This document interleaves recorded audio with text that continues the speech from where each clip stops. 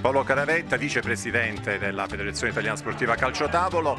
Dunque, movimento in continua crescita, in continua espansione, l'Italia è al primo posto, un movimento che raccoglie i grandi, raccoglie anche comunque i giovani ed è indirizzato soprattutto adesso ai giovanissimi, a far conoscere davvero eh, la gioia di questo sport e gioco che è il Subuteo Calcio Tavolo. Assolutamente sì, eh, diciamo che la federazione intanto è molto, io sono per primo contento che la federazione sia qui a Catanzaro perché sono calabrese anch'io per cui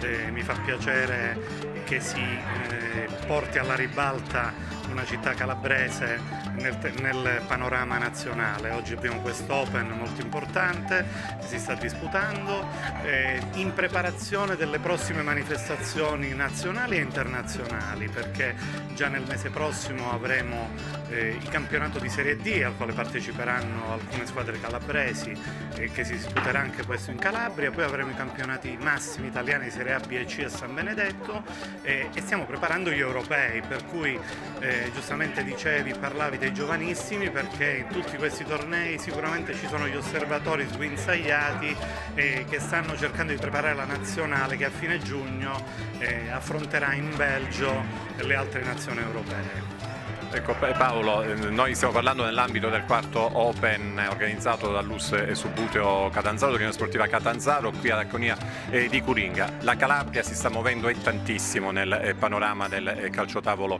e Subuteo, quindi questo è per te da calabrese, vicepresidente della federazione, diciamo anche uno stimolo in più per fare ancora meglio. Assolutamente sì, Catanzaro è, è, una società relativamente nuova, è un'antica società di Subuteo eh, che si è rigenerata diciamo, da qualche anno e sta facendo passi da gigante, eh, non solo a livello agonistico ma anche a livello organizzativo, per cui il mio applauso assolutamente a tutti i, i ragazzi e meno ragazzi, perché poi il Subuteo è, è un gioco che praticavamo noi della nostra generazione ma che stiamo cercando di trasferire ai nostri figli. Quindi un'immagine sicuramente positiva per la Calabria e nel panorama nazionale sicuramente diciamo sempre la nostra e la continueremo a dire sicuramente quest'anno nel proseguo della stagione. Ultimo e rapido flash, una, uno sport eh, hobby, eh, gioco, agonismo che comunque è aperto anche alle donne. Assolutamente, noi abbiamo una nazionale femminile che è vice campione del mondo